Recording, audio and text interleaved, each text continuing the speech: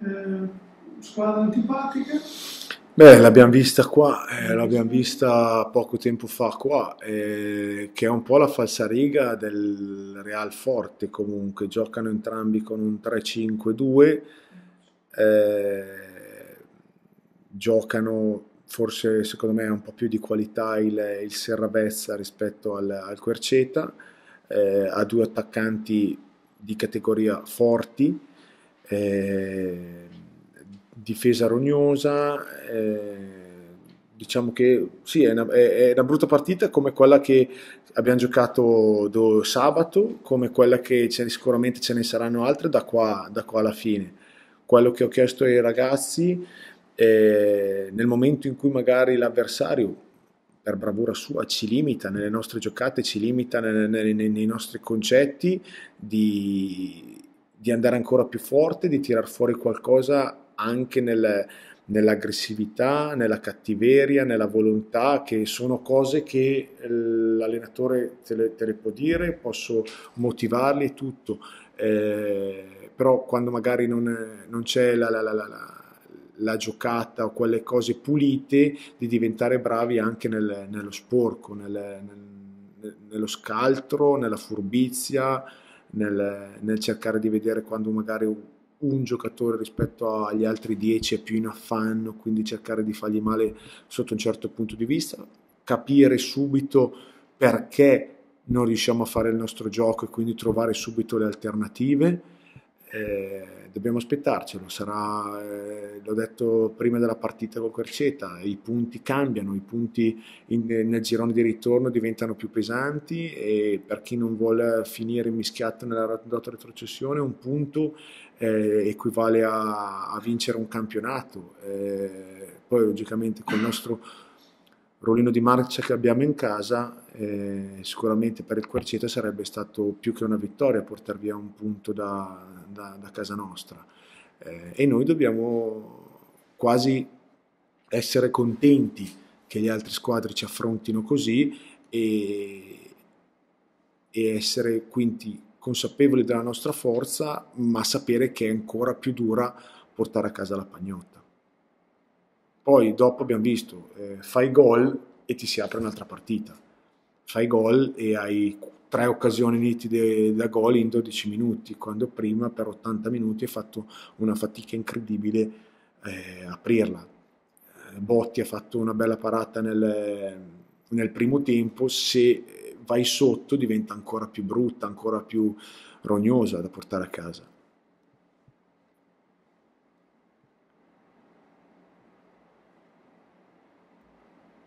Campo dovrebbe essere discreto. Ma il campo, avendo anche chiesto a, a Podestà e dai video che abbiamo visto, eh, non è grandissimo, dovrebbe essere grande come il nostro campo d'allenamento, quindi dovrebbero mancare sui 3 metri e mezzo rispetto al Benelli, 4 metri rispetto al Benelli, Benelli Langhezza, che è, t- è, tanto, si sente la differenza, perché quando giochi si sente la differenza, però giocare su un campo bello sicuramente a noi piace.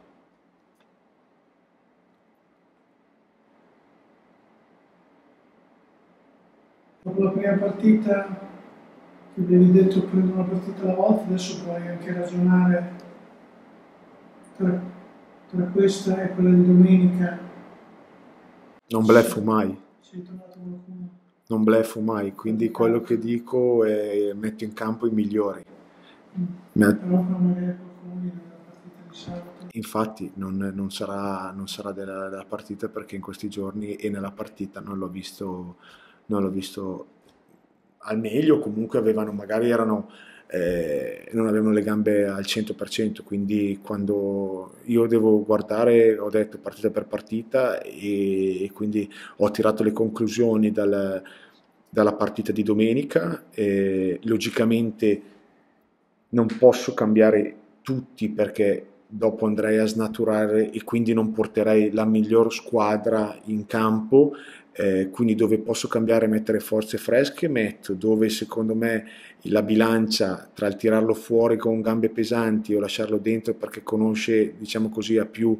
eh, per far meno cambi, eh, quando la bilancia pesa da una parte e dall'altra, in base a quello, in base a quello scelgo.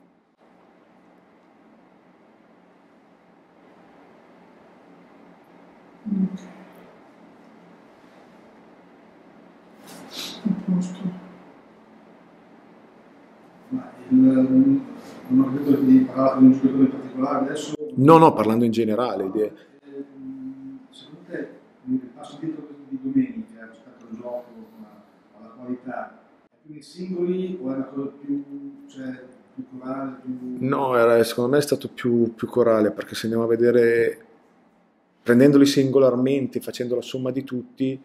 eh, tutti siamo stati un po' sotto, lo- sotto la, la- la- ma non tanto sotto l'aspetto del- della volontà, del, del non crederci o che non c'erano con la testa, è che avevano delle contromisure eh, dove noi non, eh, non siamo riusciti a, a fare, a fare il nostro gioco e secondo me il vedere che non creavamo come al solito ci ha un po' psicologicamente eh, condizionati. No, il Sapoletti che non gira, il Dorsi che ti rimane bloccato, Belli che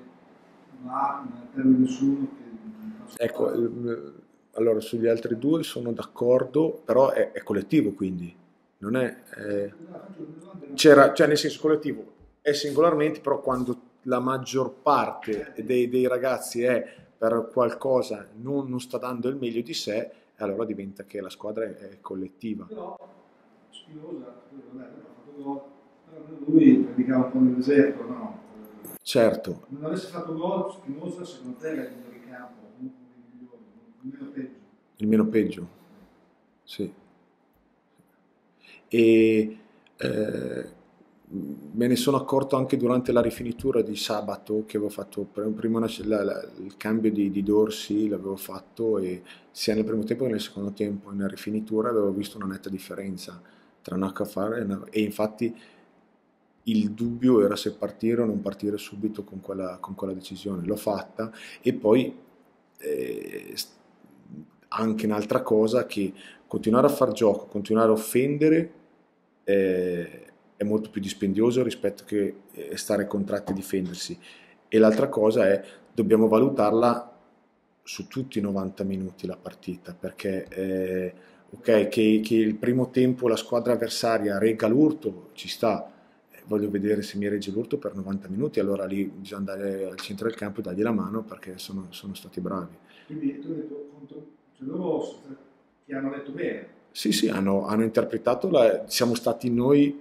poco bravi a, secondo me c'erano certe situazioni dove che in un paio di passaggi potevi, potevi saltargli fuori e andargli a fare del male, sia con dei cambi di gioco sia con un attacco diretto e l'abbiamo sfruttati male. Eh, un signore così mm, brutto dire male, comunque so che tu insomma, eh, sei un suo estimatore, quindi eh, cos- mm, indietro, non so, no, come Ma eh, cosa? non lo so, e le ho parlato e mi ha detto che poteva, eh, non era lucido come al solito, eh, e però era il- da Natale, da quando abbiamo fatto la ripresa, era il, il giocatore che durante tutti gli allenamenti e tutto era quello più, più, più, più brillante, ma infatti le ultime partite le aveva dimostrato. Certo. Sì, sì, e capitano, capitano quelle partite dove non, non lo sai neanche, perché comunque non, non erano neanche che una partita passava 72 ore da una partita con l'altra, quindi avevi avuto una settimana per prepararla. Eh, ci sta, l'importante è continuare, come mi ha detto ben lui, eh, capire quando non sei al 100 e quindi perché già che un giocatore fa autocritica è già un grandissimo passo avanti e quindi chissà che deve dare di più, sa che poteva- può far meglio. E, e niente, capita a tutti avere la giornata no e andiamo, l'importante è che sia un incidente percorso che poi è stato secondo me anche ben eh, supportato da tutti i cambi che sono entrati perché hanno dato un gran contributo a tutti quelli che sono entrati e nel momen- eh, siamo un gruppo, eh, l'importante è che la bandiera del Ravenna vada più in alto possibile, poi che la porti uno, che la porti l'altro, eh, l'importante è che alla fine sventoli la nostra bandiera. Quando c'è un po' di frustrazione vedere Rimini che fa gol al 92esimo. Le continuo a ripetere, siamo ancora a, a metà della tappa e siamo ancora, per me, tutti nel gruppo. c'è qualcuno che magari avendo 5 punti di vantaggio ha qualche eh, possibilità in più, eh, che sulla carta ha qualche possibilità in più, però noi vogliamo divertirci, quindi se possiamo noi il fastidio glielo diamo fino alla fine, poi sa- saranno loro a, a, a sono loro desti- che, che, che, che scrivono il loro destino essendo loro davanti. Detto del, del rendimento casalingo, che direi che parla da solo, non evitare un pareggio, qual è la chiave per aumentare il bottino anche nel, nel rendimento in trasferta? Ma a parte, secondo me, le, le due partite di Mezzolara e Corregese dove sono state approcciate e fatte in modo totalmente sbagliato e che secondo me era un po' all'inizio, che non, ma anche lo stesso Sasso Marconi in casa il pareggio.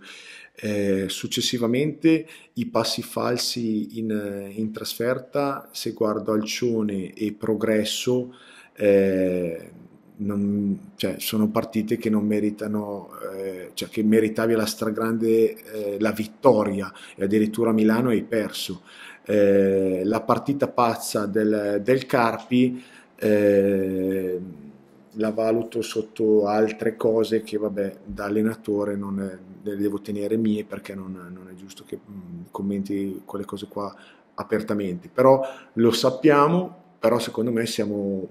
è una maturazione di questa squadra costante. Sappiamo che eh, anche in trasferta andiamo a cercare di imporre il nostro, logicamente in casa loro possono essere più, eh, possono avere qualche stimolo in più rispetto in trasferta dove un bollettino tra virgolette di guerra ti dice che al Benelli è difficile portare a casa punti, in casa possono essere più cattivi, più incisivi. Ecco, noi dobbiamo essere bravi a, a limitare anche quelle, quelle, situazioni lì perché eh, Progresso ci hanno fatto gol su calcio d'angolo quando noi avevamo fatto quattro occasioni su calcio d'angolo nitidissime per, per, per,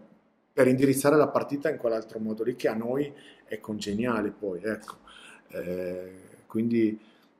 l'atteggiamento per noi è uguale eh, sappiamo che il Serravezza ha un potenziale offensivo importante e quindi dobbiamo cercare di fare il nostro limitando diciamo, il, il, il contromovimento, il, il, pugno in faccia quando sei scoperto, ecco, quello dobbiamo cercare di limitare.